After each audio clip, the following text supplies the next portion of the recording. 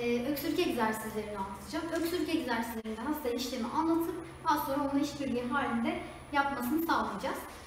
Öksürük egzersizlerine öncelikle derin nefes alıp vermeyle başlayacağız.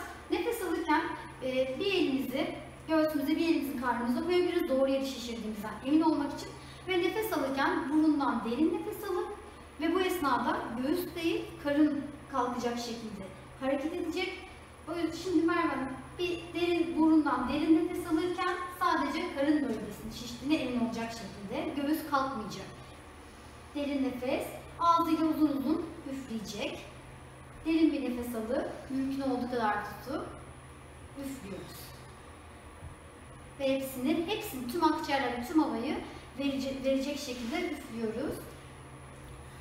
Bunu üç kez yapıp arkasından sıkıca bir öksürüyoruz. evet.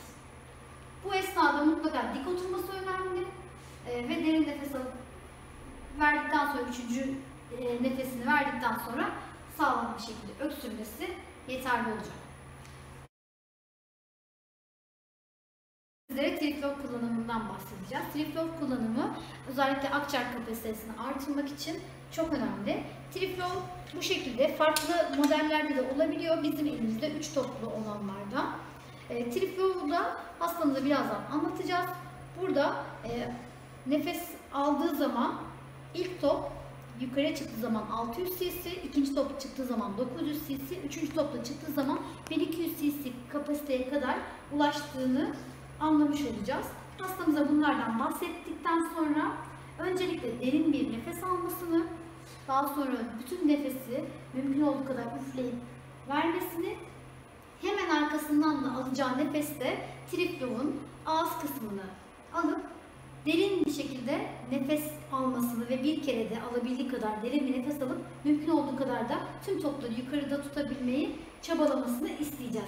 Evet Merhaba, şimdi öncelikle derin bir nefes alıp uzun uzun hepsini üfleyip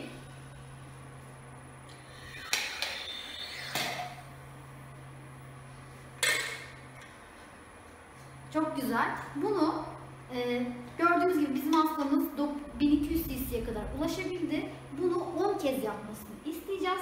10 kez yaptıktan sonra 2 kez öksürüp normal nefes almaya geçmesini isteyeceğiz. 10 kez yaptınız, bir kez daha yapalım bu 10. olacak.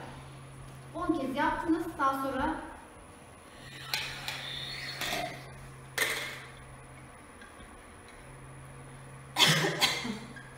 Evet, şimdi rahat nefes almaya devam edin. Evet, bu şekilde hastamızın satürasyonlarını kontrol ederek yanından ayrılabiliriz.